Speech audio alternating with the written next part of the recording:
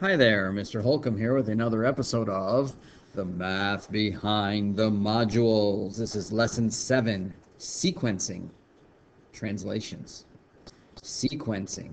So in math, a sequence is um, a list of things, something that goes in a certain order. So if I told you 1, comma, 2, comma, 3, and left the next one blank, I think a lot of you would say that the next one is 4. So that's how you fill in a sequence. Or if I did 2, 4, 6, 8, then the next number is going to be 10.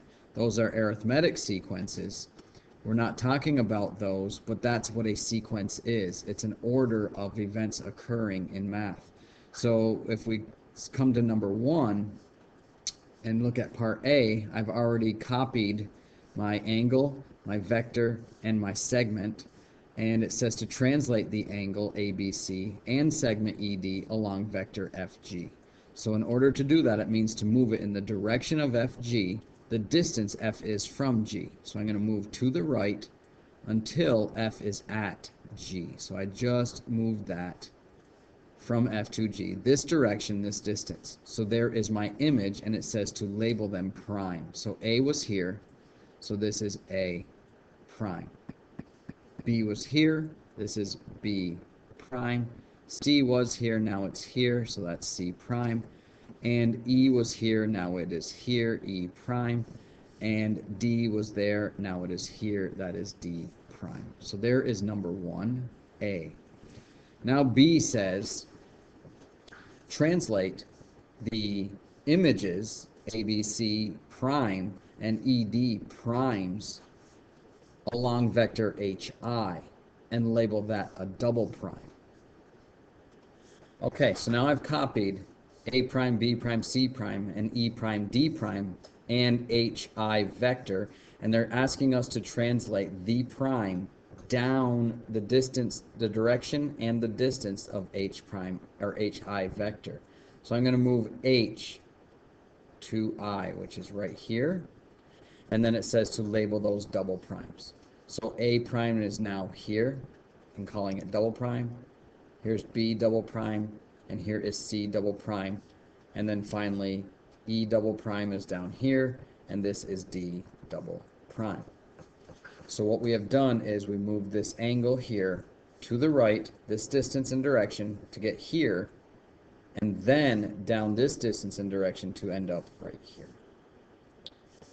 So now C says, what does the size of angle ABC compared to A double prime, B double prime, C double prime?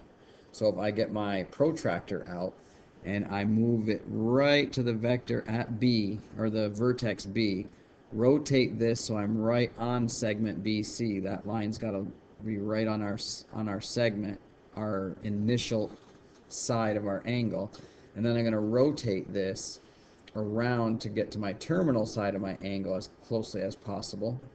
And that is approximately right there. Off a little bit, it won't go in between, but we're looking at about 128 degrees. So if I move this down to here and put it right on BC at the point B, the, the vertex B, and my angle is going to end up to be the same angle measure. It may be off just a tiny little smidgen, and that is just an error in copying, but it is pretty close. So there's the original right on the angle, and then bring this down here to the double prime, and the angle measures are identical. Okay. So how does the size angle ABC compare to the size of angle A prime, B prime, C prime?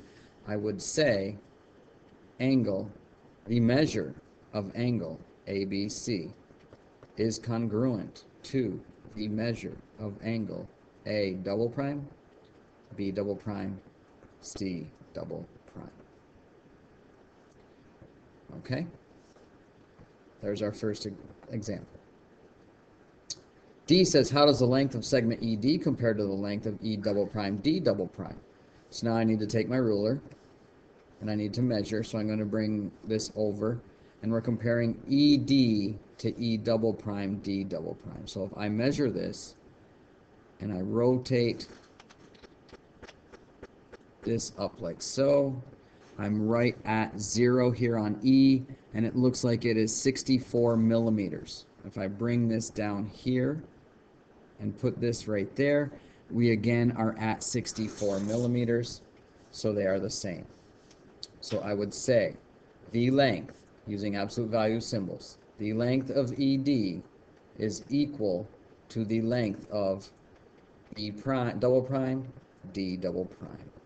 And that's how we write length. The length of ED equals E double prime, D double prime's length.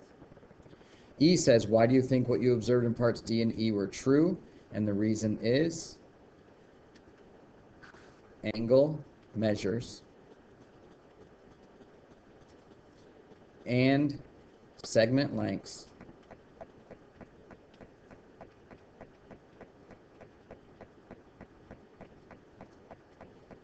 are preserved under translations.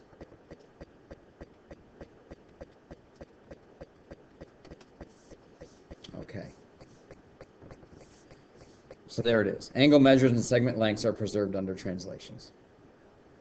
Okay, now let's look at number two. Now it says translate triangle ABC along vertex FG and then translate its image along vector JK. So let me set this up and then we'll see what happens. Okay, so I've copied the images and it's asking us to translate triangle ABC along vector FG, meaning in this direction, that distance. So I want to move the triangle and the vector up until F gets to G. So I just moved it up 3 into the right 2, if you will, since now that we're on a grid, we can see what we just did. So now the triangle has moved up that far. And then it says translate its image along vector JK. So now I'm going to move that triangle along. Actually, let me copy it. Okay, so now we're going to translate this image, A prime, B prime, C prime, that I haven't labeled yet, and I'm going to move it from one end of this vertex to the other. So I moved it this direction, this distance. So now I'm going to label this. So C went to here, so that's C prime. B went to here, so this here is B prime, and A went up to here, this is A prime. Then we moved it over at this angle, so now this is A double prime, this is B double prime, and this is C double prime. Okay, so there is the two movements. Now we're going to answer some questions about that. Oh, they didn't ask any questions. Tra it just said to translate it one way and then the other. So we went up and to the right, and then we went up and to the right at a different angle, if you will. And we're going to get into that a little more in the next problem. So here's number three. It says to translate figure ABCDEF along vector GH, then translate along JI and label each image appropriately. So you try this, and then we'll come back and see how you did.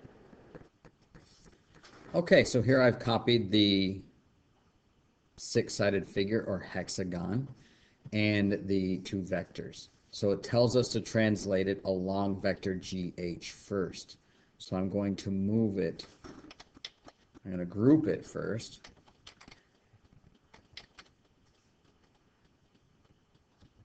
Okay, this, this, group. And I'm going to move it down to right there. Okay, so that's the first move. Okay, so now that I've moved it down the distance GH, now it says to translate its image along vector JI. So I'm going to move from J to I, and now I'm over here. So I've moved my two distances to there, and I'm going to label appropriately like it asks us to. So B was here, so this is B prime. A was here, this is A prime. F is down here, F prime. E prime, D prime, C prime. Moving it over here, this will be a double prime, B double prime, C double prime, D double prime, E double prime F double prime. So there it is. We moved it down and then we moved it up and to the right and we ended up right here. Okay, number four. It asks us to translate circle A and ellipse E along vector AB and label the image appropriately. So do that. Okay, so now that I've copied all of these, it now says to translate circle A and ellipse E along vector AB. Label the images appropriately. So I'm going to move A to where B is, and that moved everything in the direction of vector AB and the distance, the length of AB. So now I have circle A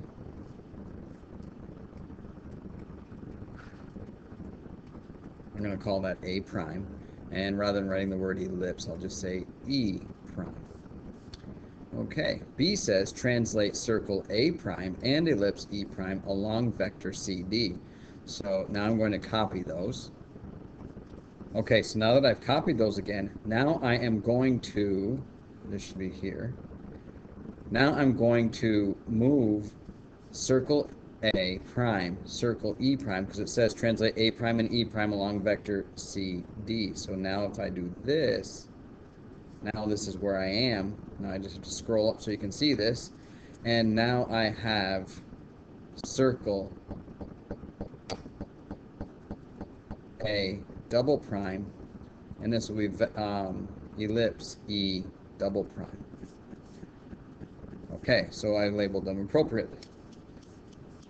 Now C says, did the size or shape of either figure change after performing the sequence or translations? Explain. So I would say no, comma, translations, preserve, size, and shape. Length, angle measures, radius, radii in this case, and so forth. Okay? So let me convert this into text.